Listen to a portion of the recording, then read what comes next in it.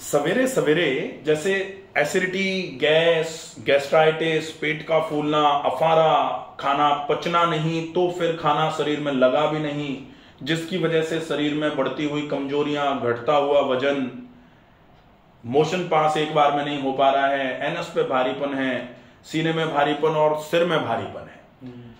वज़न लगातार कम होता जा रहा है और शुगर भी है। अब इसको मैनेज करने के लिए आपके तीन चीज़ों पर फोकस करना है। एक तो मॉर्निंग रूटीन मॉर्निंग रूटीन हर बीमारी में सबसे ज़्यादा आवश्यक होता है कि आप सवेरे जगते ही, जब तक आप अपना मॉर्निंग रूटीन पूरा नहीं कर लेते, शरीर के लिए कुछ आवश्यक नियम जो हैं, शरीर की पूरे दिन की तैयारी जो है, वो सवेरे सवेरे से चालू हो जाती है। तो सवेरे का लगभग डेढ़ घंटे का टाइम आपको अपने लिए निकाल देना है। उस टाइम में अपने को मॉर्निंग रूटीन का फॉलो अप करना है। सबसे पहले वो। दूसरे नंबर पर कुछ खाने पीने का ध्यान रखना है और तीसरे नंबर पर कुछ व्यायाम और प्राकृतिक चिकित्सा। ठीक है? तो इन चीज़ों में व्यायाम सवेरे का तो हम मॉर्निंग रूटीन में ही ले लेंगे। शाम को भोजन के बाद टहलने का ध्यान रखेंगे और प्राकृतिक चिकित्सा इसी में आ जाएगी। तो तीन चीज़ें हैं। सबसे पहले मॉर्निंग रूटीन आपका इस गैस्ट्राइटिस के साथ में जो डायबिटीज़ है उसमें कैसा होना चाहिए? तो सवेरे आप जल्दी जागें। ठीक है? ठीक। जैसे ही जागें जागते ही कोशिश करें कम से कम तीन से चार ग्लास सादा पानी पिए। पानी सादा पिएँगे ये ध्यान रखना है। जनरली लोग क्या कर रहे हैं कि पानी को गर्म करके पी ले रहे हैं। अब अगर गर्म पानी पिया जाएगा तो पेट में गर्मी जाएगी पहले से ही पेट में गर्मी है तो गर्म पानी का उपयोग नहीं करना है। पहली चीज़ जो ध्यान में रखनी है। दूसरी चीज़ पानी पी करके 10 मिनट रुकना ज़रूर है। पानी पी के तुरंत मोशन नहीं जाना है ये ध्यान में रखना है। है। तीसरी चीज़ मोशन जब जा रहे हैं तो मोशन जाते समय ज़ोर नहीं लगाया जाएगा मोशन पास करने में। ये आपके मॉर्निंग रूटीन में तीन चीज़ें जो विशेष आपको मोशन जाने के पहले तक में फॉलो करना है। अब मोशन जाने के बाद मंजन कर लिया वापस आके हाथ मुँह धोया मंजन कर लिया। उसके बाद जो एसिडिटी है या गट की मोटिलिटी कमज़ोर पड़ रही है आंतों की चाल कमज़ोर पड़ रही है उसमें आप एक प्रोसेस होता है ऑयल पुलिंग ऑयल पुलिंग का मतलब होता है एक चम्मच सरसों का तेल मुँह में भरा और ज़ोर से मुँह में चलाया। जितना ज़ोर से चलाएँगे उतना अच्छा रहेगा। तो ऑयल पुलिंग ऑयल पुलिंग करने के बाद 10 मिनट के बाद तेल को थूक दिया फिर सादे पानी से कुल्ले गरारे कर लिए। उसके बाद एक प्रोसेस होता है नश्य। नश्य मतलब नाक में गाय का घी। ये ज़रूर डालना है।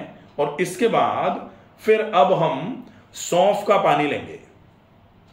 क्योंकि हम वैसे आंवला मिश्री ले सकते थे गैस्ट्राइटिस में बहुत अच्छा रहता लेकिन अपने को शुगर है मिश्री नहीं ले सकते। और अकेला आंवला आप लेते हो तो फिर एसिडिटी करेगा वो। इसलिए सौंफ का पानी लेंगे। एक चम्मच सौंफ का पाउडर एक गिलास पानी में घोल के सवेरे सवेरे नश्य करने के बाद ले लिया और उसके बाद फिर हम व्यायाम करेंगे। तो जिनको एसिडिटी है साथ में शुगर है उनके लिए यह है कि वो व्यायाम करने के पहले सौंफ का पानी ले लेंगे। ठीक ठीक है? उसके बाद फिर व्यायाम। व्यायाम में मुँह में पानी भर के टहलना। मुँह में पानी भरकर टहलना क्यों ज़रूरी है? क्योंकि मुँह में पानी अगर रहेगा तो हम ना तो मुँह से सांस भर पाएँगे और ना मुँह से बोल पाएँगे। और टहलने का फ़ायदा तभी मिलता है जब हम ना तो मुँह से सांस भरें, ना मुँह से बोलें। तो मुँह से सांस नहीं भरेंगे तो नाक से सांस भरेंगे। अब हम अगर मान लो 40 मिनट भी टहल रहे हैं तो पूरे 40 मिनट एक रिदमिक तरीके से ब्रीदिंग एक्सरसाइज होगी नाक से। तो उससे बढ़िया प्राणायाम और कोई नहीं हो सकता अगर हम मुँह में पानी भर के टहलना चालू कर देंगे। 40 मिनट टहलना है, ये पेट और डायबिटीज़ दोनों के लिए बहुत बेहतरीन उपाय माना जाएगा। ठीक है? इसको करने के बाद अपन राजा रानी आसन करेंगे, मरकट आसन। ये आपके लिए कमर, रीढ़, गर्दन हिप जॉइंट पेट और साथ में शुगर सबके लिए इफ़ेक्टिव है। ठीक है। इसको करने के बाद अनुलोम विलोम प्राणायाम करेंगे लगभग पाँच मिनट नाड़ी शोधन वाला और फिर डीप ब्रीदिंग करेंगे कम से कम सौ बार। इस डीप ब्रीदिंग में श्वसन बहुत धीमा रखना है। ज़ोर से सांस नहीं भरना है। ज़ोर से भर भी लिया अगर तो ज़ोर से छोड़ना तो कतई नहीं है। ठीक है? बहुत धीरे धीरे करके छोड़ेंगे। फिर पूरा हो जाए तो भ्रामरी प्राणायाम कर लेंगे। कान अंगूठों से बंद करके भौरे के समान गुंजन करने वाला और उसके बाद सवासन करके पूरे प्रोसेस को एंड करेंगे। इस पूरे में मैक्सिमम डेढ़ घंटा लगेगा। हम्म। ठीक है? डेढ़ घंटे का टाइम सवेरे सवेरे का। अब लोग ये कहते हैं कि आपने इतना सारा बता दिया इतना करेंगे तो पूरे दिन काम कैसे करेंगे? तो पूरा डेढ़ घंटे में अगर हो रहा है और डेढ़ घंटे का टाइम निकाल करके अगर आपकी शुगर और आपका पेट ठीक हो जा रहा है तो ये बहुत बुरा सौदा नहीं है बहुत अच्छा है। लेकिन जो लोग ये चाहें कि हम तो इतना भी नहीं करेंगे हम तो कर ही नहीं सकते तो भाई बहुत मुश्किल है फिर। टाइम तो निकालना ही पड़ता है। स्वस्थ रहना है पहला सुख निरोगी काया अगर सुख ही रहना है तो पहला सुख काया अगर निरोगी नहीं है तो काय का सुख फिर बेकार ही है सारा। फिर खूब कर लो काम खूब टाइम निकाल लो काम के लिए उससे कोई मतलब ही नहीं निकल रहा। ठीक है? तो इसका विशेष ध्यान रखना ये मॉर्निंग रूटीन हो गया। अब आपका पूरे दिन का रूटीन पूरे दिन के रूटीन में आप पूरे दिन में कम से कम 10 से 11 गिलास पानी पिएँगे अब बहुत सारे लोग कहते हैं कि प्यास ही नहीं लगती, पानी कैसे पिए? और फिर ज्ञान भी देते हैं कि लिखा तो ये गया है कि जब प्यास लगे तभी पानी पिए। तो फिर 10-11 गिलास बोल रहे हो तो कैसे पियेंगे? तो प्यास इसलिए नहीं लग रही क्योंकि आप व्यायाम नहीं कर रहे, पूरे दिन एसी में बैठे हुए हैं, गर्मी लगी नहीं पा रही आपको। आप जो खाना खा रहे हैं, वो चल ही नहीं पा रहा तो फिर प्यास भी नहीं लग रही। थोड़ा व्यायाम करो, देखें कैसे प्यास नहीं लगती है। जैसे ही पसीना निकालोगे, प्यास लगना चालू हो जाएगी। अब पूरे दिन एसी में, बिना काम के, फिर पूरे सवेरे शाम कतई व्यायाम भी नहीं तो प्यास लगना तो एक बीमारी है, प्यास नहीं लग रही वो भी। और वो प्यास नहीं लगना एक बीमारी अगर है तो उस बीमारी को ट्रीट करने के लिए पहले पहले कुछ दिन के लिए आपको रूटीन बनाने के लिए पानी पीना पड़ेगा। ठीक है? तो एक बार रूटीन बन जाएगा फिर प्यास लगना चालू हो जाएगी फिर आप इतना पानी कम से कम पीजिए। शुगर पेशेंट को जैसे आ, मैंने पानी पिया हाँ। तो मेरा विद इन फाइव मिनट में मेरा वो टॉयलेट बन के निकल जाता हाँ। वो यूरिन आता है। वो शुगर के पेशेंट्स को बार बार यूरिन आने का जो है ना वो एक और तरीका होता है। शुगर दो तरीके की होती है एक डायबिटीज़ मेलेटस और एक डायबिटीज़ इंसिपिडस इंसिपिडस का मतलब होता है एडीएच वो पिटोटरी से जो हार्मोन निकलता है वो। उसका मोर और लेस ऐसा कुछ है नहीं अभी इस आपके कंडीशन में। तो अपने को ये करना है कि पानी पी करके जो आप सवेरे और शाम को थोड़ा प्राणायाम करेंगे ना, पानी शरीर में घूमेगा अच्छे तरीके से। और वो घूमना चालू होगा तो फिर आपका जो ये जो लगता है कि अभी पानी पिया, पाँच मिनट में निकल जा रहा है, ये आदत धीरे धीरे धीरे धीरे करके आपकी नॉर्मल हो जाएगी। कोई दिक्कत नहीं है उसमें। ठीक है? अब नाश्ता जो है वो आपका वेजिटेबल दलिया हो, जिसमें खूब सारी सब्ज़ियाँ डाल करके, दलिया उबाल करके खुले में, कुकर में नहीं उबाला जाएगा। इसका ध्यान रखना है, नाश्ता हो जाएगा। लंच में, अब जनरली लंच में लोग क्या करते हैं कि डायबिटीज़ है, इसलिए मेथी मिला लो, फिर उसमें अजवाइन भी मिला दो, फिर उसमें चने, सोयाबीन भी मिला दो, और फिर डायबिटीज़ के लिए तो ठीक है, क्योंकि यहाँ आपका कार्बोहाइड्रेट जितना कम होगा, उतना ठीक है।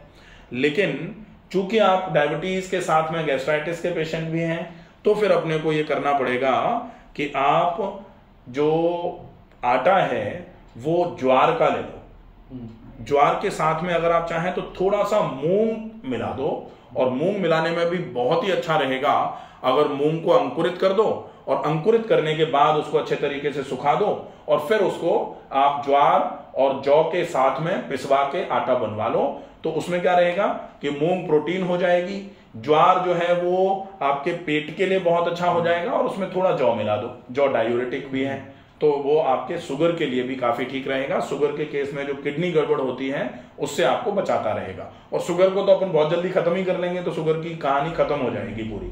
ठीक है? तो डायरेक्ट अपन जवार का आटा नहीं लेंगे। अकेला ज्वार का आटा अगर ले रहे हैं ना तो वो बहुत अच्छा है। अच्छा। अकेले ज्वार का आटा सबसे बढ़िया है। हाँ ले लेकिन हाँ। तो सबसे बढ़िया तो वही है। हम्म। लेकिन कभी कभी लोग ये कहते हैं कि अकेला जवार उसमें भी तो कार्बोहाइड्रेट ही होगा तो पेट के लिए तो ठीक है लेकिन शुगर के लिए। शुगर के लिए अपने को उस पर टेंशन नहीं लेनी बिल्कुल भी। शुगर तो अपन केवल एक्सरसाइज से खत्म कर देंगे। ओके ठीक है? और फिर भी अगर लगे प्रोटीन लेनी है अपने को तो प्रोटीन क्या है कि गैस्ट्राइटिस के केस में आप जैसे ही चना खाओगे जैसे ही सोयाबीन या राजमा खाओगे गैस्ट्राइटिस से पचेगा ही नहीं पेट फूल जाएगा एकदम से। बहुत दिक्कत हो जाएगी। तो उसको अपन नहीं मिलाएँगे। खाने के साथ में एक ग्लास छाछ का या रायते का पतला रायते का उपयोग ज़रूर करेंगे। ये बहुत ध्यान रखने वाली बात है। दोपहर और शाम के खाने के बीच में आप कोई भी एक फल खा लेंगे। अब वो फल क्या हो सकता है? जैसे सेब डायबिटीज़ के लिए ठीक है लेकिन सेब गैस्ट्राइटिस में पचने में थोड़ा भारी तो होता है।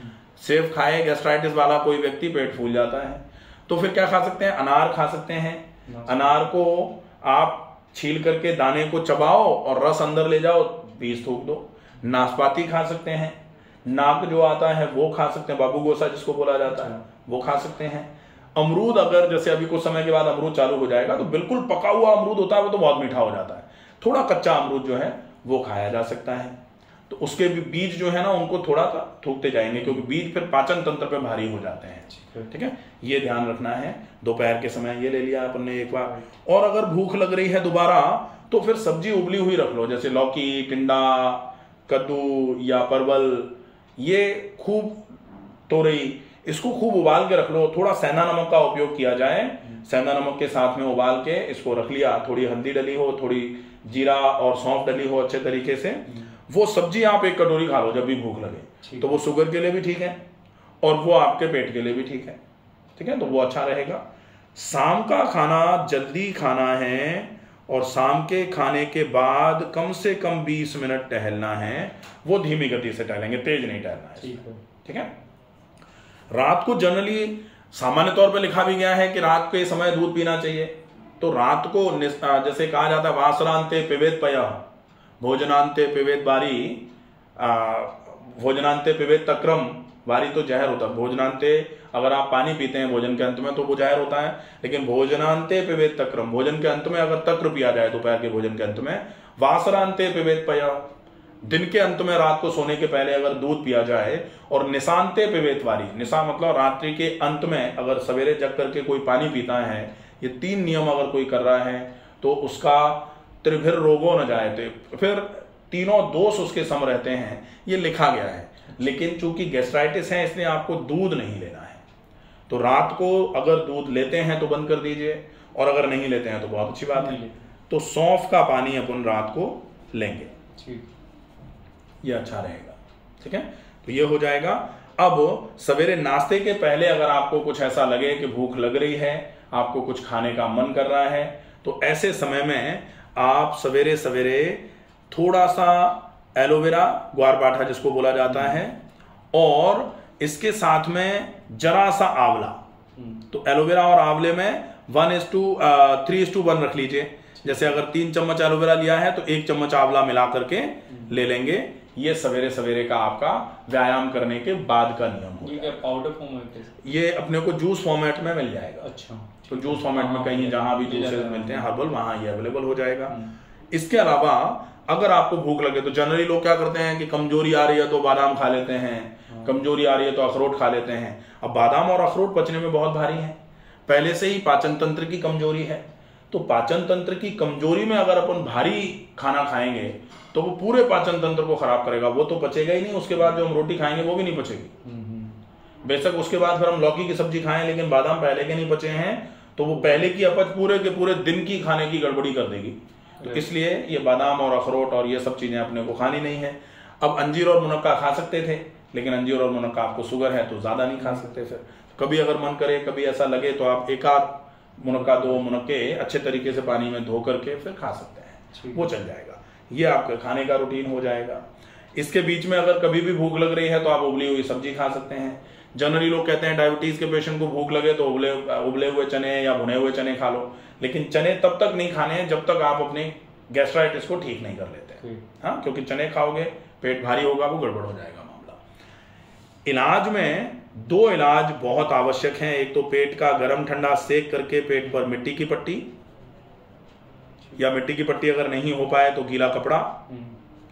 और दूसरा रात को सोने के पहले गुनगुने पानी में पैर और नाक में गाय का घी अगर संभव हो जाए तो ठंडे पानी में बैठना ये ठंडा कटी स्नान जिसको हम्म। बोलते हैं ना ये अगर हो जाएगा तो ये आपकी डायबिटीज़ और गैस्ट्राइटिस दोनों में ही बहुत अच्छा काम करेगा पंद्रह मिनट से बीस मिनट का ये इलाज अगर संभव हो हो सकता है आपका वज़न ज़्यादा नहीं है एक प्लास्टिक का टब लिया उसमें पानी भर के बैठना ही तो है। हाँ, हाँ, खाली पेट कभी भी जब भी आपको ऐसा लगे पेट खाएँगे तो हाँ। दिन में एक बार।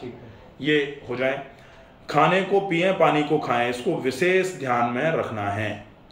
खाने को पिए मतलब खाने को इतना चबा के खाएँ कि खाना बिल्कुल पीने लायक हो जाए जूस के रूप में कन्वर्ट हो जाए और पानी को खाएँ मतलब पानी को चाय की तरह पीना है। ठीक है? तो ये आपका पूरा रूटीन हो जाएगा।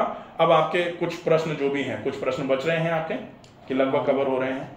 ऑलमोस्ट तो कवर हो चुका है। कोई बात नहीं आपके प्रश्न जो भी हैं उनको अपन ले लेते हैं।